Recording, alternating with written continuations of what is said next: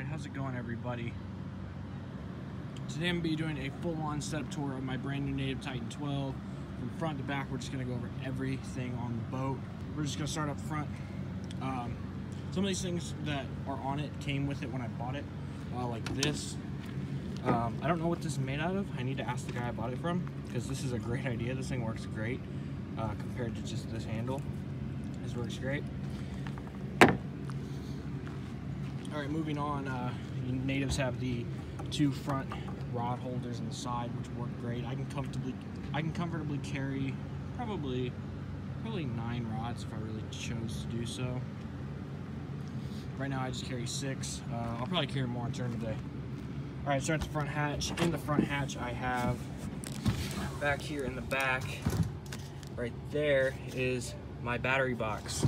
I have two seven amp hour uh, batteries running parallel in there. Uh, here's keep cooler. Not much to say about that. Just just keep some drinks in it. Keep this milk crate. Uh, this was actually the guy that I bought it from had this idea, but it works great. Keep my dry bag, my Hurag dry bag in here with uh, Solmax or GoPro uh, gear, different you know mounts and stuff. VisiCarbon Pro, so when I need it, I can get to it.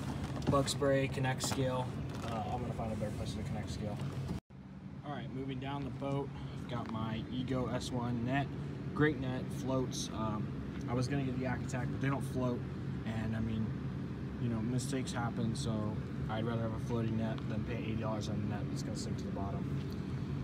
Moving on, we've got the native propel drive, which is incredible. Uh, it's just, it works so good. On top, I have a roto grip paddle holder that just holds my net in place. Uh, so it's right in front of me, easy to get to. Uh, here we have my front GoPro mount, which is still on. This is my Dogbone uh, camera mount. Works great. But you see that wire, which I'll explain that in a little bit. Uh, it's kind of a mess right now because I just got off the water.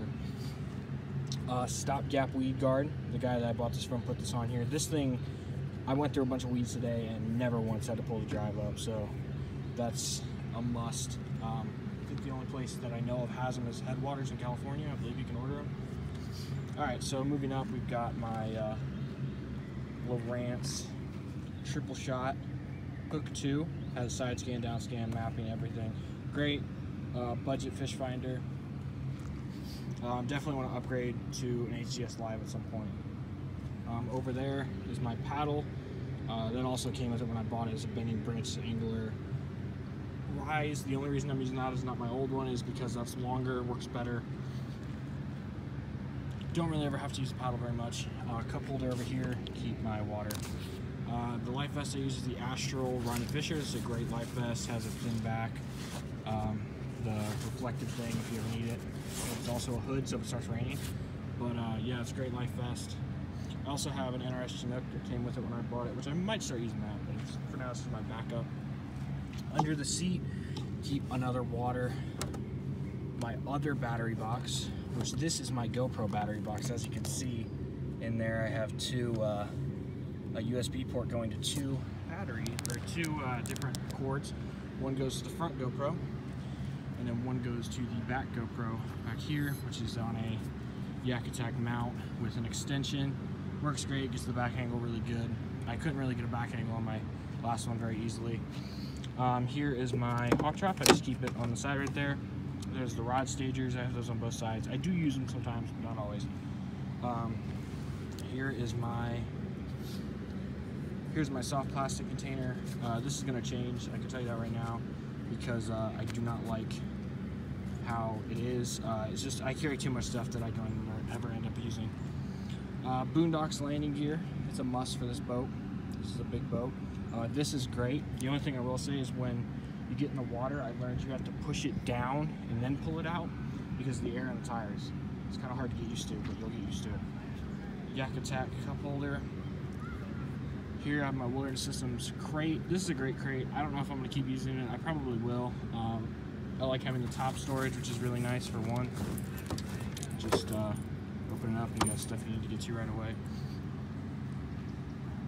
All my rods, like I said, I have six rods on me right now. All are Enigma fishing rods. Um, you guys have seen the videos. They're fantastic rods.